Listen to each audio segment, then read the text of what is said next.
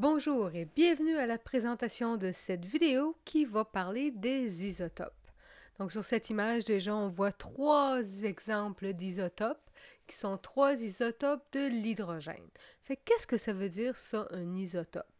Ben, des isotopes, c'est des, des atomes qui représentent le même élément, mais qui vont avoir des nombres de neutrons différents. Ça va être le même élément parce que le nombre de protons va rester le même et c'est le nombre de protons qui détermine l'identité de l'atome. Ce qui va changer, c'est la masse parce que c'est le nombre de neutrons. Pas le nombre de protons, pas le nombre d'électrons, seulement le nombre de neutrons. Alors, des exemples de ça, on va prendre l'exemple du carbone. Il existe trois formes du carbone dans la nature. Il y a le carbone 14, donc ça veut dire que ce carbone-là va avoir une masse de 14 dans son noyau, un nombre de masse de 14. Le carbone 13, qui a un nombre de masse de 13 et le carbone 12. Dans les trois cas, ce que je veux que tu remarques, c'est que les trois atomes de carbone vont toujours avoir 6 protons. C'est son identité. C'est toujours 6 protons qui va avoir le carbone. Ça, ça ne change pas. Mais observe le nombre de neutrons. Dans le carbone 12, il y a 6 neutrons, dans le carbone 13, il y a 7 neutrons, et dans le carbone 14, il y a 8 neutrons. Donc le nombre de neutrons change, ça veut dire que la masse change, mais le nombre de protons reste toujours le même. Si tu ne te souviens pas comment trouver le nombre de neutrons, tu devras retourner dans la vidéo précédente où on avait expliqué que le nombre de neutrons était trouvé en faisant la masse moins le numéro atomique. Et le numéro atomique du carbone, c'est 6. C'est pour ça qu'il a 6 protons. Le numéro atomique donne toujours le nombre de protons. Pour euh, les isotopes, qu'est-ce que ça a de spécial? Pourquoi c'est important d'en parler? Parce que le carbone 12, le carbone 13 et le carbone 14, ils vont avoir des choses qui se ressemblent puisqu'ils ont tous 6 protons, 6 électrons. Mais ils vont avoir des choses différentes aussi. Et ces choses-là, on appelle ça des propriétés. Alors, les propriétés du carbone vont être différentes si ce sont des propriétés qui sont physiques, mais elles vont être identiques si des propriétés chimiques. Parce que les propriétés chimiques, elles vont dépendre seulement de l'arrangement des électrons.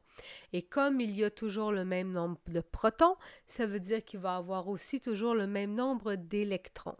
Et s'il y a toujours le même nombre d'électrons et qui sont toujours arrangés de la même façon, ben le comportement chimique des isotopes va être le même.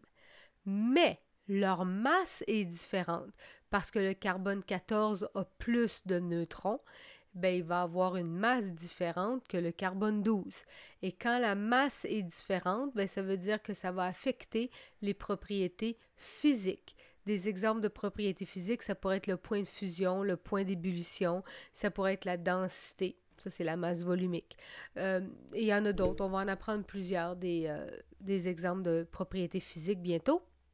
Et là, ça va être différent selon les isotopes parce qu'ils ont une masse différente.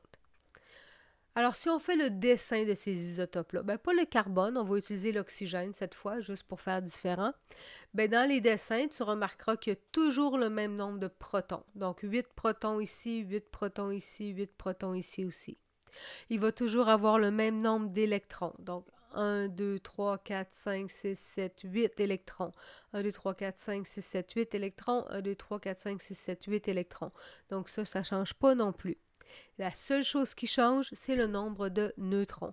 Donc on a 8 neutrons ici, 9 neutrons au milieu et 10 neutrons à droite. Et ça, on va le représenter dans la notation qu'on a apprise aussi dans la vidéo précédente.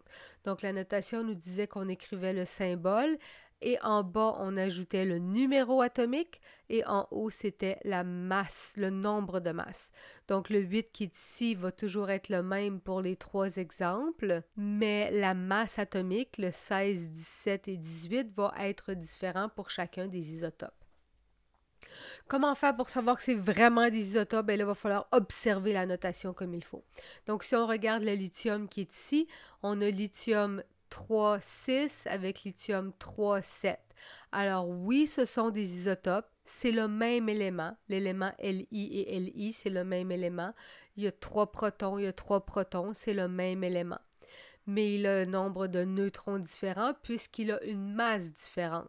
Donc les deux vont être des isotopes parce qu'ils ont le même nombre de protons, mais leur nombre de neutrons est différent. Donc, pour trouver le nombre de neutrons, il faut soustraire masse moins numéro.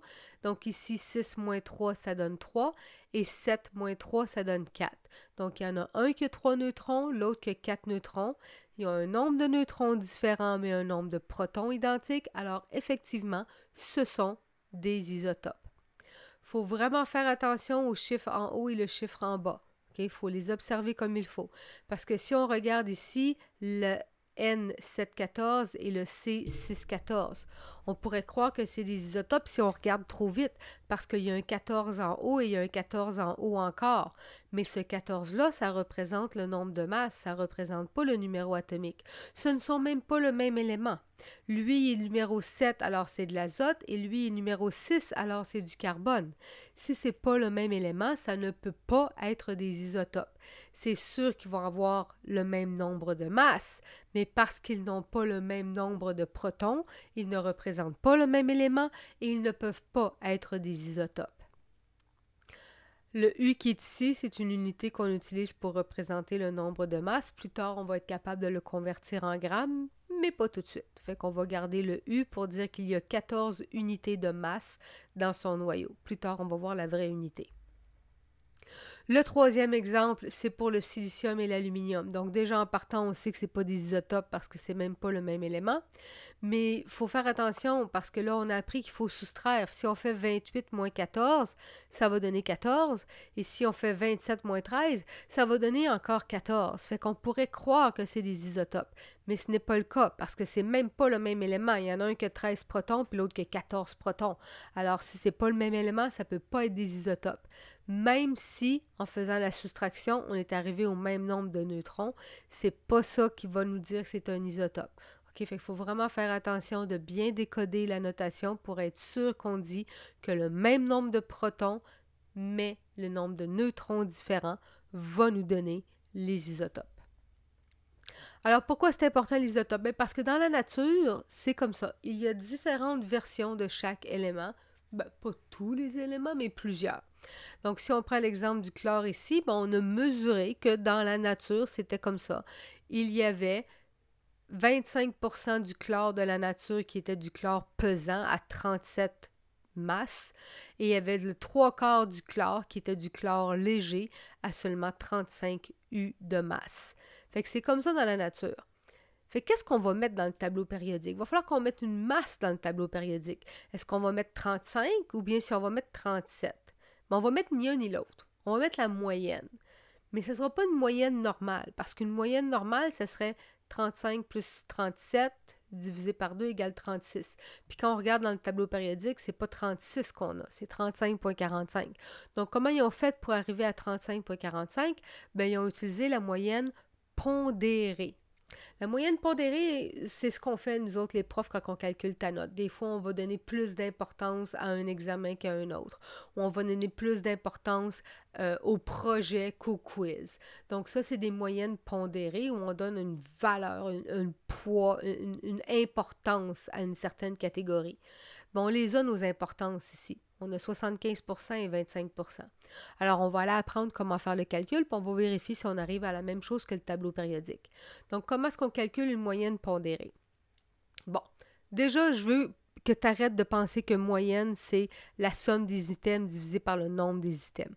Ça ne sera pas le cas. Donc, c'est pas ça qu'on va faire parce que c'est pas 36 qu'on va avoir comme réponse. C'est correct comme calcul de moyenne, mais nous, on ne fait pas la moyenne, on fait la moyenne pondérée.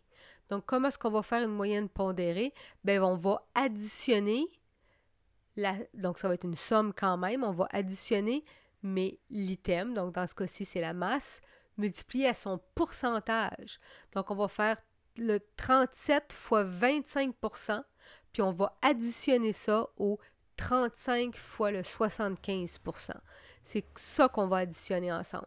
Donc, le 35 fois le 75% va être additionné au 37 fois le 25% Bon, pour les besoins du calcul, j'ai transformé le signe pourcent en fraction sur 100. Moi, personnellement, je trouve que c'est plus facile comme ça. Euh, mais si toi, ta calculatrice a un piton pour cent, tu préfères l'utiliser, c'est à ton choix. Mais moi, personnellement, dans tous mes exercices, je vais utiliser la fraction sur 100. Je trouve que c'est plus facile après pour faire le calcul. Donc, 35 fois 75 divisé par 100, ça donne 26 et un quart. 37 fois 25 divisé par 100, ça donne 27 et un quart, 9 euh, et un quart. Et quand je les additionne ensemble, ça donne 35 et demi, ce qui est effectivement ce qu'on retrouve dans le tableau périodique. Donc, il faut que tu sois capable de faire des calculs de masse pondérée comme ça et aussi être capable de les faire à l'envers. C'est-à-dire que on a le tableau périodique maintenant. Donc, on connaît la masse moyenne, la masse atomique moyenne pondérée de l'élément. Et si on connaît ça et on connaît c'est quoi les euh, masses de chacun des isotopes, ben, on est capable de retrouver les pourcentages d'abondance de chacun des isotopes.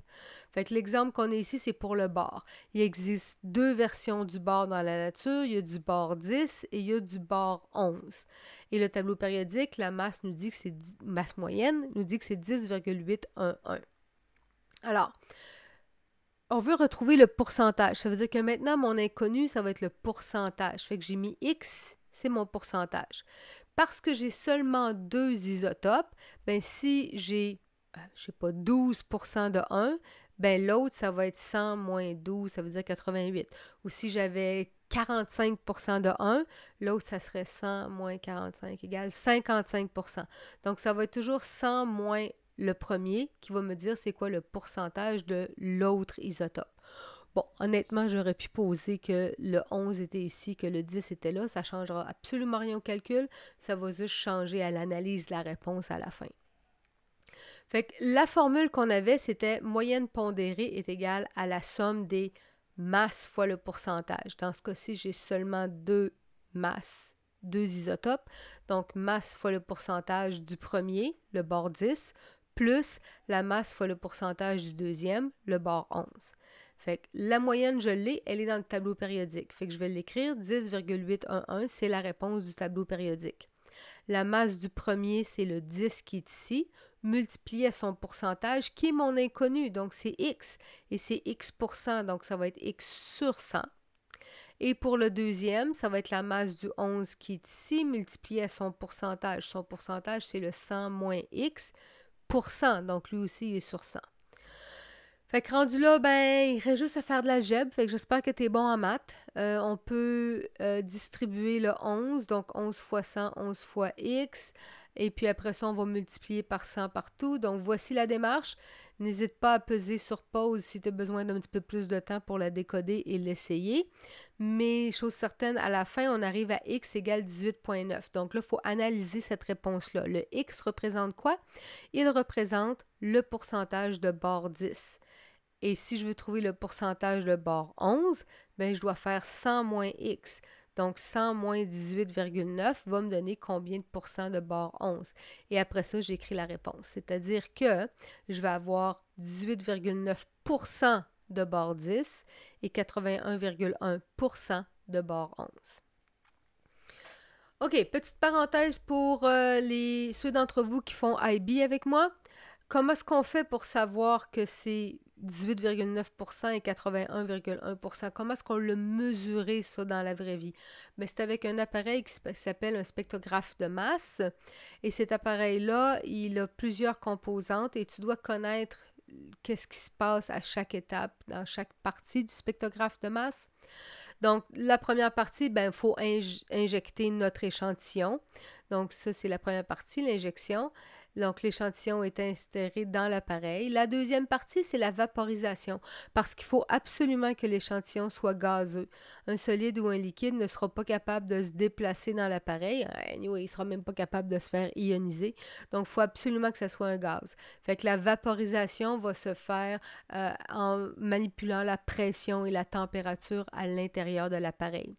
Une fois que notre échantillon est sous forme gazeuse, ben là, on va pouvoir l'ioniser, c'est-à-dire qu'on va lui arracher des électrons pour qu'il devienne positif. Fait que ça ne sera plus un atome, ça va être rendu un ion. Et quand il va être positif, ben, il va se faire accélérer, il va se faire attirer, il va avoir une attraction parce que la plaque qui est ici va être négative et les positifs sont attirés par les négatifs. Donc, il va avoir une, attraction qui va faire que les ions qui sont dans la chambre numéro 3 vont être attirés vers le 4. Et là, il y a un petit trou ici qui va leur permettre de passer à travers. Et ils vont passer très très vite. C'est une grosse accélération.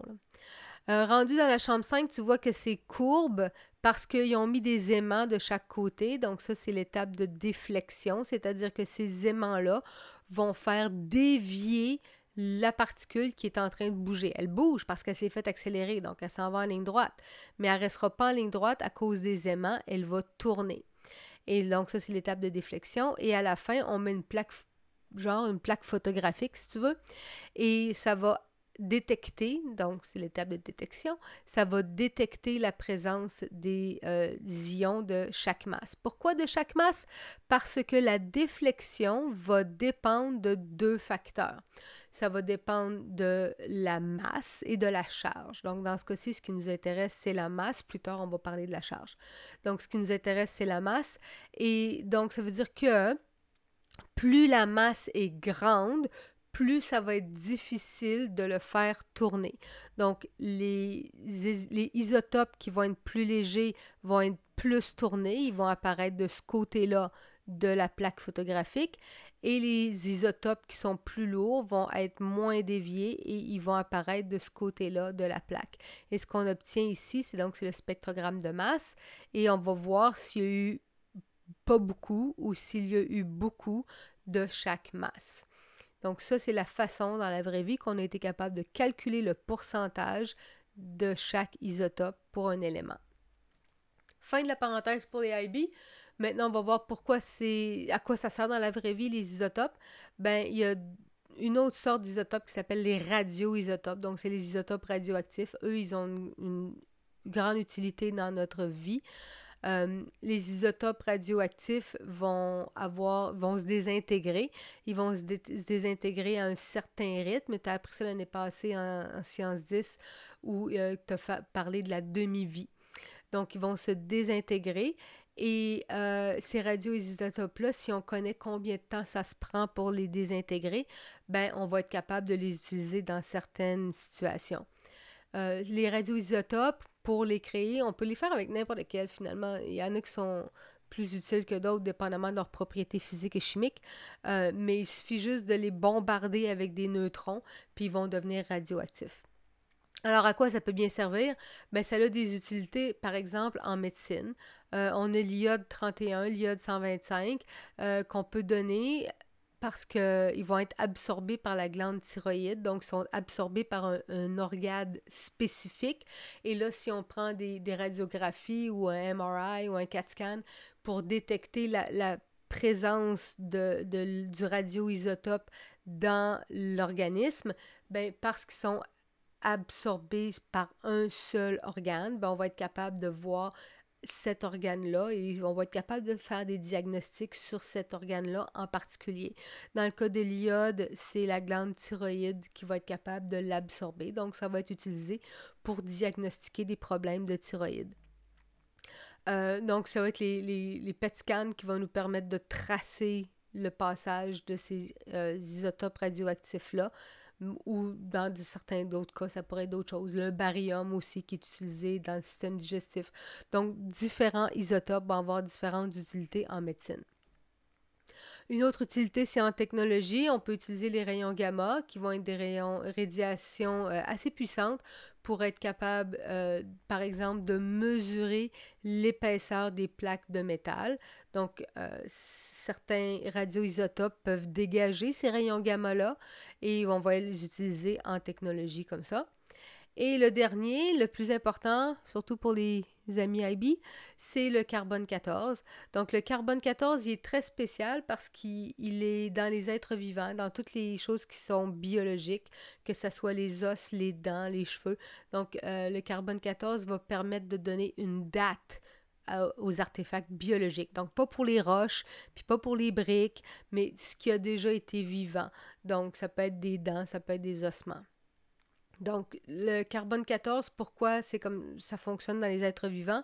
Ben parce que le carbone 14, il est présent dans la nature. Il est là de façon naturelle. Présentement, tu as du carbone 14 à l'intérieur de ton corps. Donc, c'est normal, c'est correct, c'est comme ça. Et dans ton corps, quand le carbone 14 se désintègre, sa demi-vie va faire qu'à la fin, il va se transformer en azote 14. Puis ça, c'est de l'azote juste normal, c'est juste de l'azote. Fait que le carbone 14, quand il est dans ton corps, il va tranquillement se désintégrer et devenir de l'azote, mais tu continues à manger et à respirer et à vivre. Donc, tout le carbone qui s'est désintégré dans ton corps va être remplacé par du nouveau carbone 14. Alors, ce carbone 14-là va toujours avoir une, concentration égale dans ton corps tant et aussi longtemps que tu es vivant. Parce qu'à mesure que le carbone se désintègre en azote, tu réingères du nouveau carbone 14. Fait que ça va toujours rester égal. Mais aussitôt que l'animal va mourir, ben là, le carbone 14, lui, va continuer à se désintégrer. Mais parce que l'animal est mort, il va plus manger et remplacer son carbone 14. Donc, la quantité de carbone 14 va tranquillement diminuer. Et si on connaît, en mesurant euh, de façon très précise, si on connaît la quantité de carbone 14 et on compare ça à la quantité d'azote 14, mais ben, on va être capable de déterminer ça fait combien de temps que cet animal-là est mort. Comment on fait pour le savoir? Ben, à cause de la demi-vie. Donc, on sait que la demi-vie du carbone 14, c'est 5700 ans. Ça veut dire que ça prend 5700 ans pour que la moitié du carbone 14 devienne de l'azote 14. Fait que moins il reste de carbone 14, donc plus qu'il y a d'azote 14, plus que ça fait longtemps que cet animal-là est mort. Fait que si on trouve des dents dans une forêt euh, ou si on fait des recherches archéologiques et on trouve euh, une poterie dans laquelle il y avait euh, des, des, des tissus ou des fluides biologiques, ou si on trouve une flèche, une pointe de flèche sur laquelle il y a du sang d'un animal, ben on va être capable de dire cette pointe de flèche ou ce, récipient de poterie, ça fait long, combien de temps qu'il a été utilisé, parce qu'on va être capable de dater les molécules, la carbone 14 qu'il y a dedans, à la condition que ça soit des molécules biologiques. Ça, c'est la partie importante. OK, fait que c'est tout pour les isotopes. Euh, évidemment que dans tes notes de cours, il y a plusieurs exercices à ce sujet-là, surtout des exercices de calcul, fait que tu vas pouvoir te pratiquer beaucoup à, à faire des calculs de masse pondérée, mais aussi quelques questions au sujet de l'utilisation des radioisotopes. Fait que je te laisse et on se voit dans la prochaine vidéo. Bye!